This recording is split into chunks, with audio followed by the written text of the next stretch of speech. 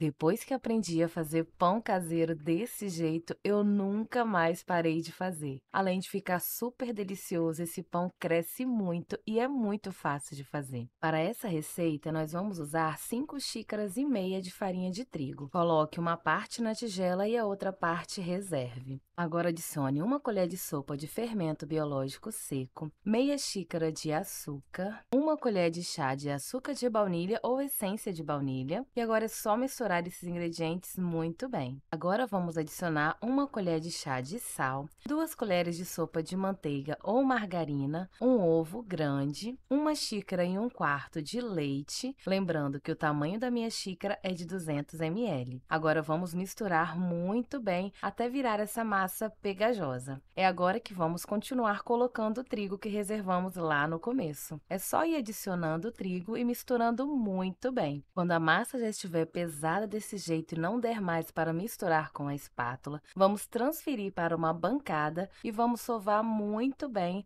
até virar uma massa bem lisa, bem homogênea. Lembrando que eu vou deixar um comentário nesse vídeo com todos os ingredientes e as medidas em peso e em xícaras. Essa massa eu sovei por mais ou menos 15 minutinhos até ela ficar desse jeito. Agora vamos pegar uma forma redonda, a minha tem medida de 24 por 6 centímetros e vamos untar muito bem com bastante manteiga ou margarina. Agora é só pegar essa massa que preparamos e espalhar muito bem no fundo dessa forma. E se você já está gostando da receita, então não esqueça de curtir e compartilhar muito esse vídeo. Pincele essa massa com um pouco de manteiga ou margarina margarina, cubra com um plástico e deixe descansando por uma hora. E olha como que a nossa massa cresceu e ficou linda. Agora, para dar um toque especial, vamos untar a nossa mão com um pouquinho de óleo e vamos fazer furos na massa desse jeito. E depois de fazer vários furos, vamos despejar sobre essa massa um quarto de xícara de leite de coco. Esse leite de coco vai deixar a nossa massa úmida e muito mais saborosa. Agora é só assar no forno pré-aquecido a 180 graus por 35 minutinhos. E agora que nosso pão já está assado, vamos despejar sobre ele meia xícara de leite condensado. E por último, vou polvilhar um pouquinho de coco ralado que vai dar todo um charme para esse pão e vai deixar ele ainda mais gostoso. Lembrando que essa parte é totalmente opcional. Se você não quiser, não precisa fazer. Agora é só desenformar esse pão,